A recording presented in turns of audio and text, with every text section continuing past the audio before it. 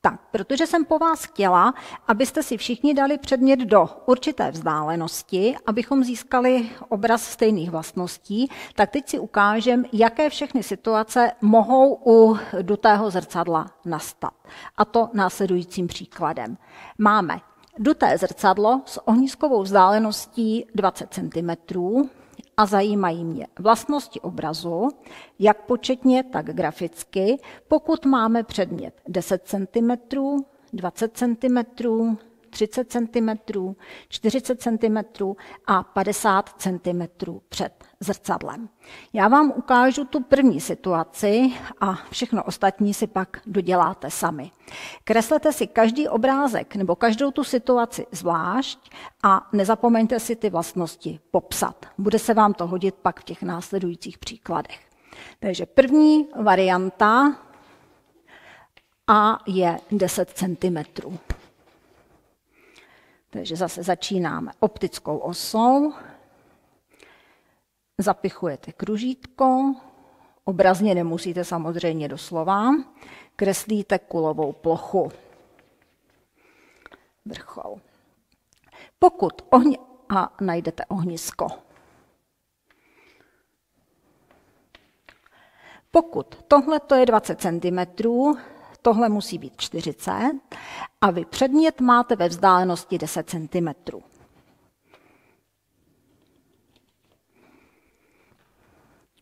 Takže předmět 10 cm před zrcadlem. Použijeme paprsky, o kterých jsme mluvili. První paprsek, paprsek rovnoběžný s optickou osou, se nám odráží do ohniska.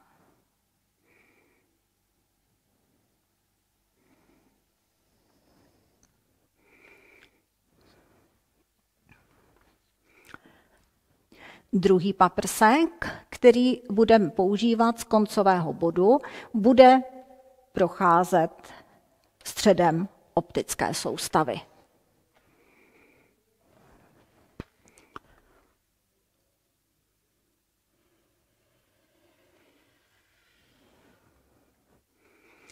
Vidíte, že tenhle ten paprsek s prvním paprskem tvoří rozbíhavý svazek. To znamená, tady před zrcadlem se nám ty paprsky nikde neprotnou. Takže čárkovaně je protáhněte vlastně jakoby proti směru šíření.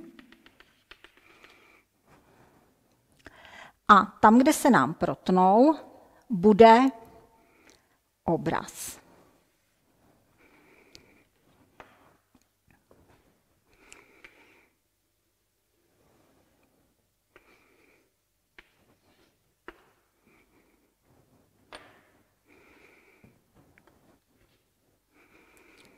Takže když se na ten obrázek podíváte, co vidíte?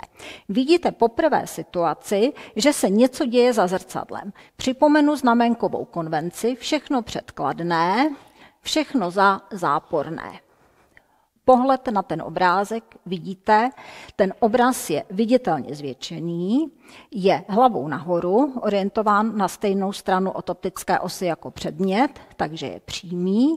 A když je přímý, musí být neskutečný. Vznikl za zrcadlem, tam slušný obraz nemá co dělat, takže je neskutečný. Takže vypíšem ještě jednou vlastnosti. Zvětšený,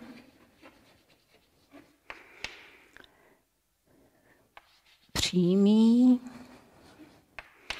a neskutečný. To grafické řešení je pro vás určitě snažší v tom, že to, ty vlastnosti v tom obrázku vidíte. Teď půjdeme na to početní řešení. Takže použijete zobrazovací rovnici 1 lomeno a plus 1 lomeno a s čárkou se rovná 1 lomeno f a potřebujeme a s čárkou.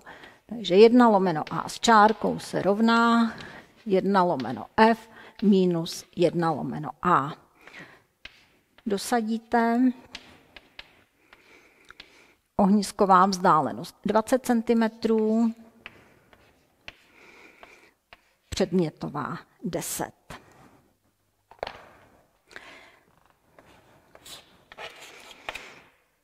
najdete společného jmenovatele, což budou dvacetiny, jedna dvacetina minus dvě dvacetiny,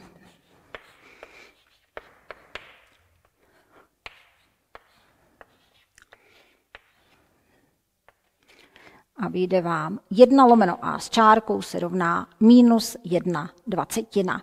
Takže a s čárkou minus 20 cm. U předešlého výkladu jsme si říkali, je-li A s čárkou záporné, znamená to, že ten obraz vznikl za zrcadlem, tudíž je neskutečný. Když je neskutečný, musí být přímý. No a zbývá velikost, jestli je zvětšený, zmenšený nebo stejný. K tomu použijeme vztah s pomocí obrazové a předmětové vzdálenosti. Takže minus zlomek a s čárkou máme minus 20 a A bylo 10 cm. Takže Z vám vyjde plus 2. Tedy obraz je dvakrát zvětšený. Takže tohle je ukázka toho prvního a úplně stejným způsobem mi popíšete a sobě popíšete jak graficky, tak početně vlastnosti v těch dalších příkladech. Udělejte si to opravdu eh, tak, jak vidíte na té tabuli, protože s těmi hodnotami a s těmi vlastnostmi budeme pracovat pak i dál.